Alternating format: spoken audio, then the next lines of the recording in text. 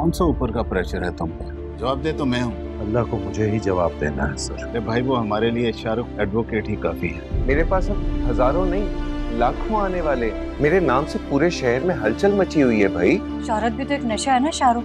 कहीं बहक ना जाना। सब छोड़ के चले जाए। ससुर ने आना कम कर दिया और बीवी एक ना एक दिन वो भी मायूस हो जाएगी।